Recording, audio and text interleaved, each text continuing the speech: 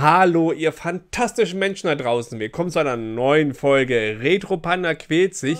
Und heute ist ein Wunsch vom guten SNES Manic dran. Ja, danke, dass du dir das Spiel hier gewünscht hast, beziehungsweise, na, das mit dem Danke sagen, das sehen wir gleich.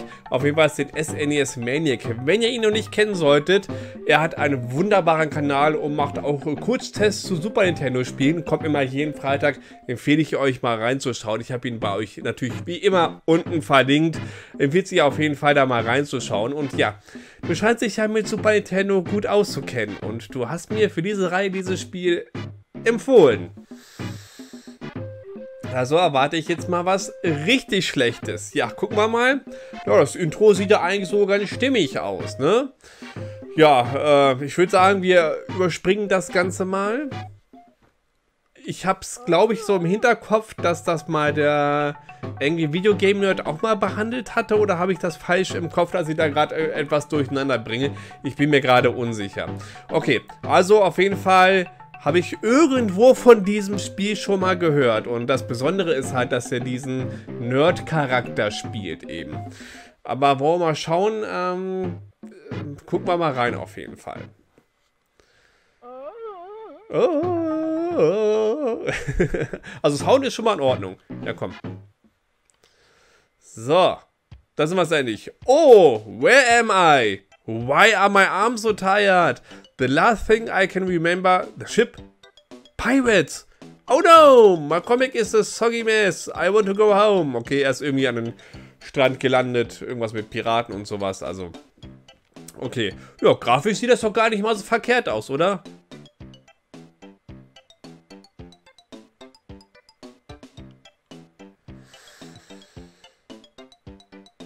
Ich befürchte Schlimmes. Also wenn man schon so langsam geht, okay.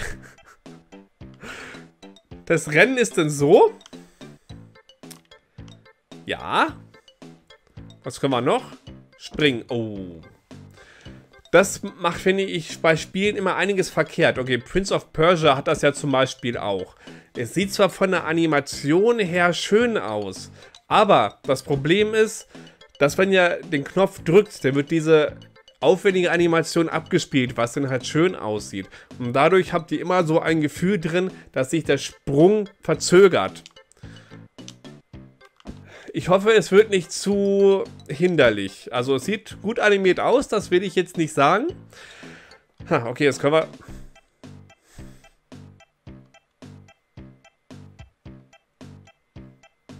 Das ist der Angriff. Oder...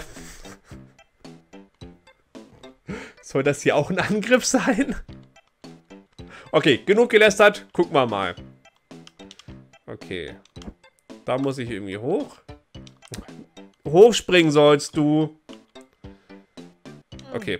Es funktioniert so, wie man denkt. Hochdrücken und springen. um.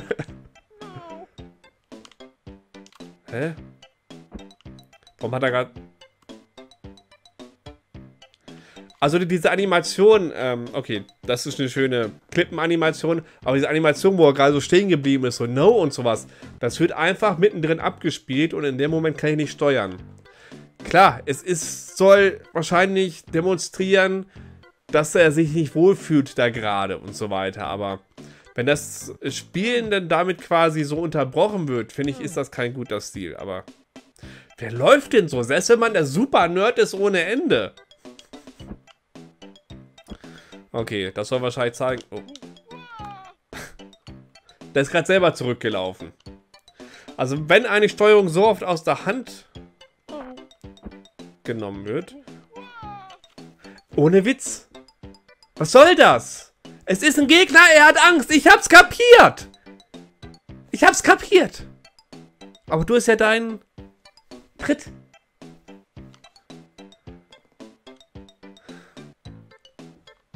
Dann wird er das einfach aus der Hand genommen und dann läuft ein paar Schritte zurück.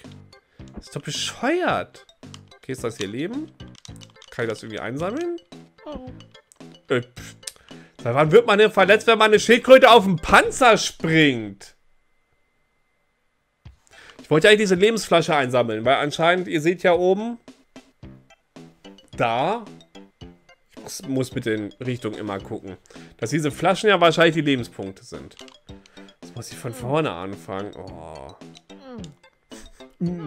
Oh, spielt er die Sachen schon wieder ab. Ja, es ist in Ordnung. Ich hab's kapiert. Ist ja schön, dass das Spiel so eine gewisse Stimmung irgendwie... Das hasse ich übrigens bei jedem Spiel. Wenn man so gerade eine Ecke hochspringen muss, man, man steht in zu weit ein bisschen oder ähnliches. Mein Gott. So. Oh, okay. Zu weit runterfallen darf ich anscheinend nicht. Das Spiel hat Fallschaden. Ist auch nicht überall so. Da bin ich aber neutraler Meinung. Das ist mal okay, mal nicht. So. Ach, hier läuft er jetzt diesmal nicht weg. So. Guckt euch mal das an. Das ist doch kein Kämpfen. Null Reichweite. So, und jetzt springe ich hier einfach mal nach oben. Nicht, dass ich mich ja mit der Schildkröte jetzt noch mehr anlege.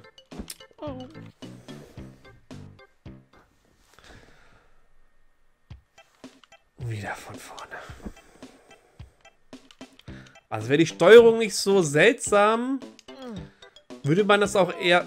Nun spring doch da verdammt nochmal runter. Ja! Das ist echt nervig, das Spiel.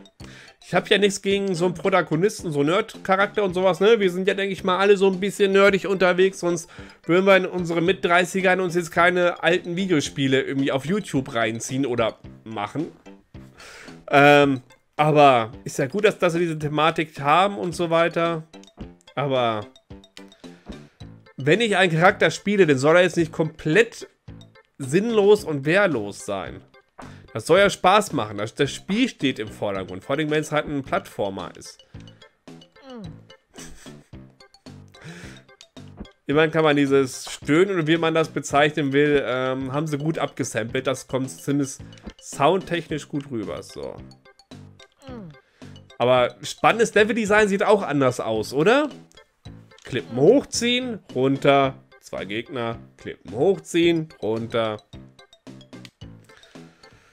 so, mal laufen. Also dieser Laufen-Button, der bringt einen gar nicht so viel, weil ich...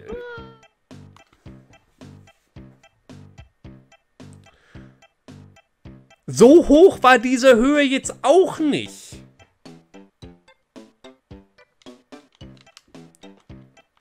Spring darüber.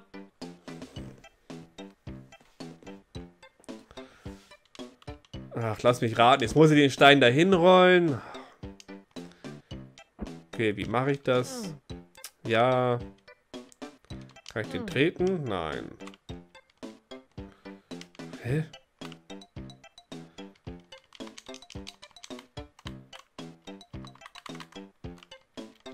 Also ich weiß, dass ich den, den Stein jetzt da logischerweise irgendwie hinbringen muss.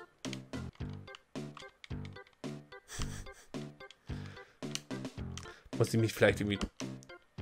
Natürlich kann er sich nur ducken. Er kann im Ducken nicht laufen.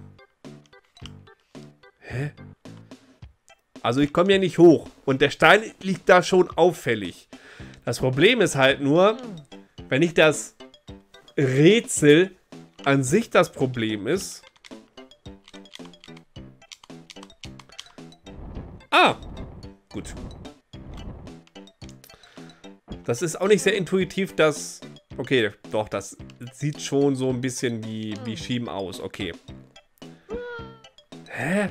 Das raff ich, ich, ich, ich, ich, ich kapiere das wirklich nicht. Man kann sich wahrscheinlich, denke ich mal, irgendwie abseilen, ne? So. Dann irgendwie runterspringen. Ne, geht nicht. Aber diese Höhe. Wieso haben wir da jetzt gerade Fallschaden bekommen? Und gerade ging das aber. Verstehe ich nicht. Wir haben das Level geschafft. Jawoll. Immerhin. Oder, ich glaube, das Level war es nicht, aber den Abschnitt halt.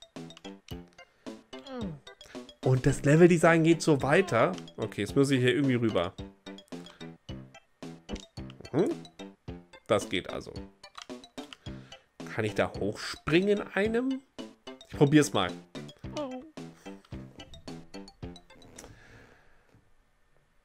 Continue. Ja, oder? Ja, komm. Ich, ich, ich will nur versuchen, ob ich da hochspringen kann.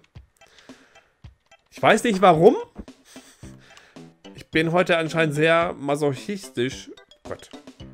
Wenn ich das Wort aussprechen könnte, ne, dann sollte ich es vielleicht auch benutzen. Ihr solltet mir vielleicht...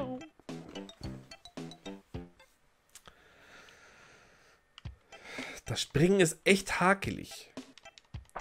Gerade weil sich das halt so indirekt anfühlt. Das, das mag ja, ja hier kein Problem sein, wenn man sich jetzt irgendwo genau darunter ausrichtet und dann einfach hochspringt, ne? Geschenkt. Wie, das macht er so zufällig, dieses von wegen, ich will nicht. Mein Gott, ich hab's kapiert. Okay. Komme ich da jetzt hoch? Ja, komm, Schildkröte. Ich mag's nicht, ich mag Schildkröten. Ne?